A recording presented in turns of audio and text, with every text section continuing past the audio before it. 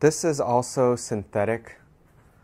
So this piece I thought would be made out of leather, but is actually kind of a rubbery material.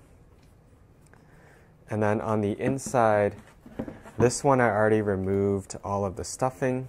It says Dior, and then further down it says made in Italy. And it's uh, not very cushioned, but it's like a fabric or composite sole, insole. And then on the bottom of the shoe, you have the bee motif here, which I think it was Hedi Slimane who really first introduced it for the Dior Homme line. And from what I've read, it's an homage to Christian Dior's love of gardening. You have the old logo here, so it's a funny mix of the older logo and then the new logo here. And then this is the materials tag. I think on shoes, they don't actually have to tell you what exactly the material is, but this tells you the type. So the sole is synthetic, that's the diamond shape. The inside is leather and I think it's fabric. On the outside is fabric and synthetic.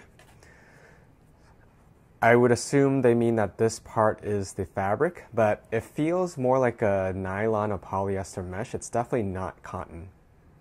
And then you have some rubber or plastic pieces here. And this shoe is, in the US, this is $900. Comes with white laces. This is also the same material as this. It's slightly ribbed, it's like micro ribbed. And I think the only leather is right around here on the inside of the ankle.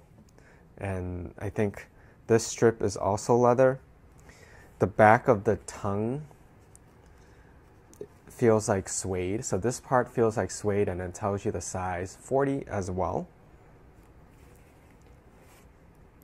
And I think on the backing pieces, like right there, the solid one is also suede. But besides that, there's really not much leather, which is kind of surprising because this pair of sneakers is priced at $900 in the US. I find that a bit overpriced just now that I really got a chance to look at it and examine it because when I was at the Tokyo pop-up store, they only had like two or three sizes left, and definitely none of them would fit me, so I really didn't bother to take too close of a look.